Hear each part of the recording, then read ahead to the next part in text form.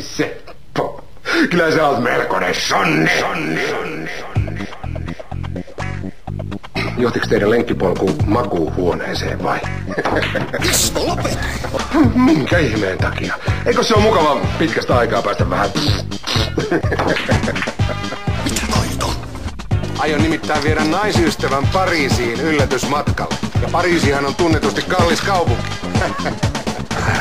Sitä samaa. Seppo.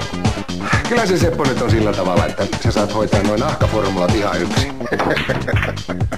Seppo, Seppo, se, se, Seppo, Seppo, pom. Tallessa on. Seppo, Tallessa on. joo, kyllä, Seppo.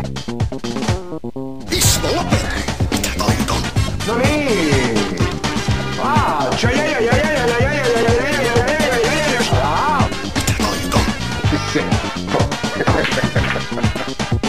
Haluut sä turpaas? Kyllä, sitä samaa. Onks selvä? Ismo, lopeta! Kyllä se Seppo nyt on sillä tavalla, että Haluut sä turpaas? Seppo, Seppo, se, se, Seppo, ja Seppo, pom,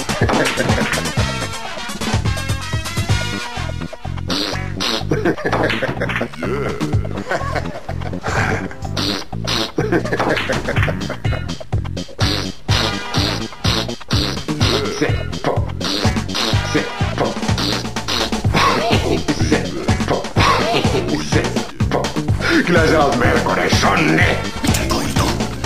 Johtiko teidän lenkkipolku makuuhuoneeseen vai? Seppo. Mitä noit on? Mitä noit on? Seppo. Seppo. Olis saanut jäädä tekemättä koko juttu. Minkä ihmeen takia? Eikö se ole mukava pitkästä aikaa päästä vähän... Teillä noin palvelut pelaa monella tapaa. Ismo, lopeta! Seppo. Ismo, lopeta! Ismo, lopeta! No, tää oli vasta alkulämmittelyä. Seppo. Seppo. Mullekin housut puoli tankoon ja pipo silmille ja